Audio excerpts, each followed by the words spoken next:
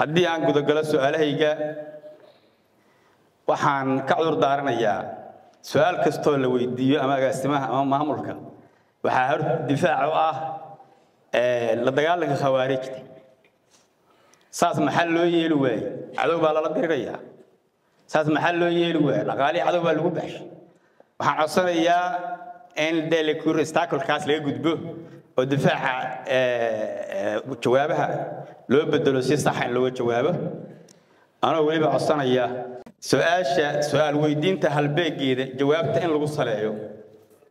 Su'aasha in la faahfaahiyo waxaa ka fiican muhiimaddeeda in la taabto iyadoo kooban oo kelmatayn ah.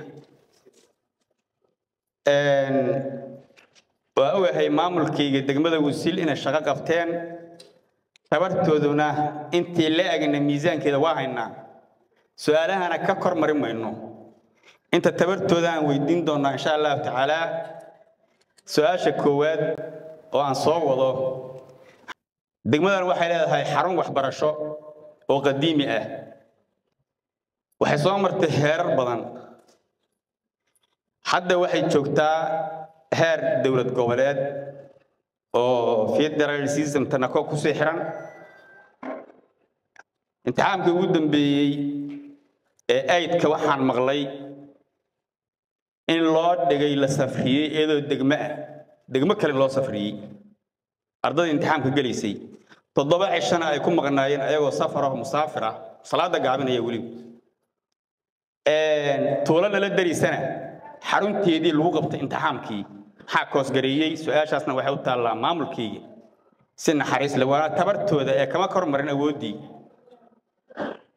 su'aasha saddexaad weydiinaya waxa weeye baahiyaha degmada municipalitigii waa noo dhisanta waa dhadhowdahay waan rajaynayaa station booliskiina waa la dhagax dhigay.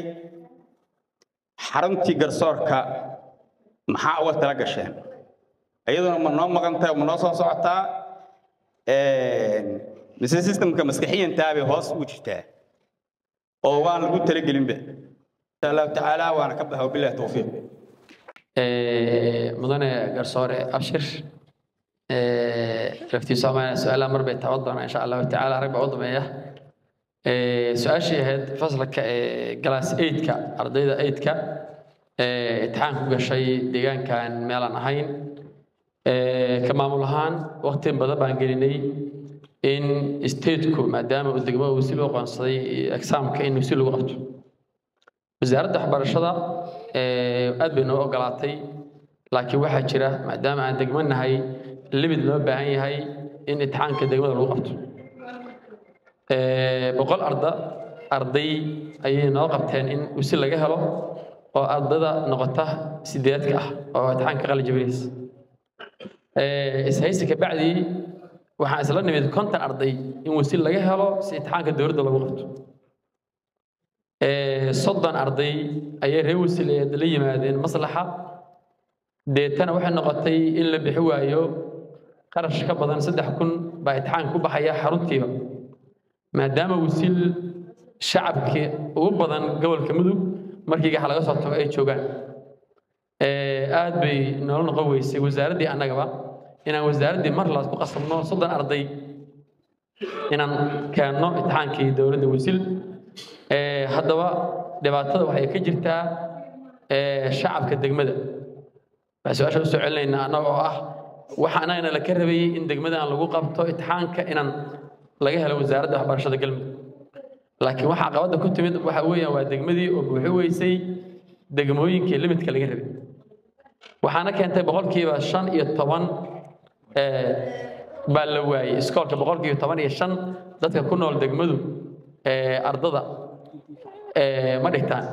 Marka waxaan ka codsanaynaa mar labaad waalidiinta iyo shacabka meeshaan ku dhaqanba in qofkii toban arday haystaa ugu horaan sideed ka mid ah inuu geeyo waxbarashada. Halkaas waxaa ka imaanaysa in degmada xaqay lahayd inay hesho wasaaradda arrimaha gudaha markay timid oo halkan assessment baa la sameeyey waxbarashada kow bay ka ahayd shaqadaas. Marka mudane guddoomiye degmo ahaan way xaruntii wasiileed mar labaad waa diyaar. Hadda fanfor baa soo socda wasiil foonfoorka sanadkan gaab baa naga galay hadda lix iyo toban arday ayaa degmada wasiil bay leedahay. Meel kale u dhow ilaa haddana ma jirto oo arday kale ay joogto soo ma moodno marka in aad haddana ku qasbannahay inaan deegaan kale aadno oo aadno maaragta xarun. Ila dowladda federaalka soomaaliya marka iraato boqol arday ka yar meel ay joogaan ma ma noqonaysa xarun. Marka waxaan codsanaynaa inaan mar labaad isku nimaanno maamul ahaan ka shacab ahaan waalid ahaan inaan ka fadhiisanno inaan ardayda waxbarashada geyno labada dhinacba. Dee meeshaan waxaa isku nimid maslaxa inaan wax isu sheegno garsoorka cafwan mudane guddoomiye waxaa ka mid yahay garsoorku. Sagaal iyo labaatan mashruuc oo maamulka degmada u qoran wasaaradda cadaaladda agaasimaheedan kala fadhiistay weliba muqdisho bishii afaraad sideed iyo labaatankeeda in wasiil ay hesho xaruntii maxkamadda ay ku shaqey lahayd haddana guryo kiraa ay ku jiraan oo weliba maxkamaddu ay ayagu si tawracada u bixiyaan maadaama aan hadda wasiil weliba laga qaadin wax horumarin ah guud oo lagu bixiyo shaqadaas. Mudan guddoomiye waxaan rajaynaynaa sanadaha soo socda weliba sanadkan labada kun labaatan iyo shanta labada kun labaatan afarta in xaruntii garsoorka la helo aadana mahadsanta insha allahu tacaala